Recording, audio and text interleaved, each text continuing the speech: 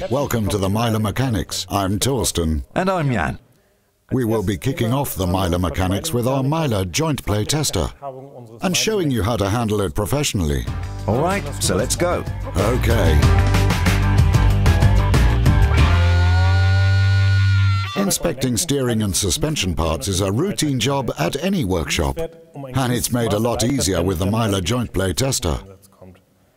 If you use a lifting platform with a wheel alignment facility, like this one, make sure you don't position the wheels on the turntables, as this could affect the test result.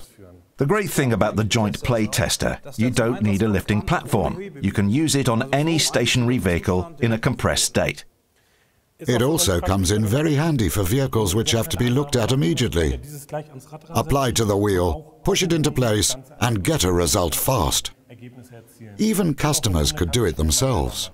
Exactly, and diagnosing steering and suspension parts on the spot with a professional tool makes a really good impression on the customer. Instead of producing the usual tire iron. Using the joint play tester is also a great way of checking the suspension under almost real-life conditions, which, of course, is an excellent opportunity for you to spot early signs of wear. All you need to do is adjust the joint play tester to the required wheel diameter. First, make a rough setting by simply inserting the bolt in the corresponding hole.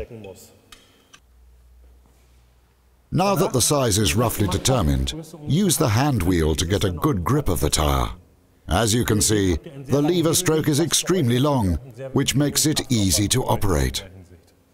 Another benefit of this joint play tester compared to other designs is that it has no other bearings and that the force applied on the lever is transmitted directly to the wheel.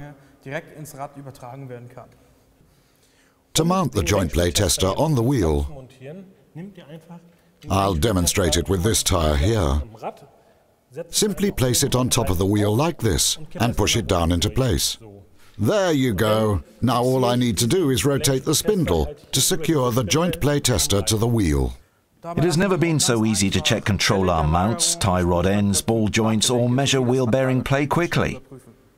When the joint play tester is secured axially like we've done here, you can easily check suspension strut bearings, ball joints and the lower bushings. Now, if Torsten wanted to check control arm mounts and tie rod ends, all he would have to do is position the tester horizontally.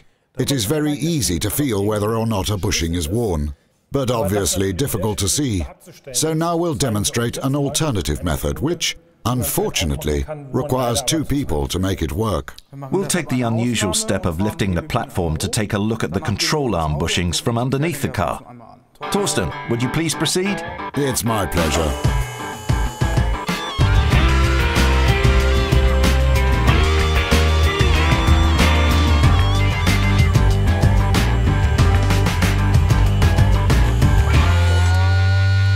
So this is our control arm bushing.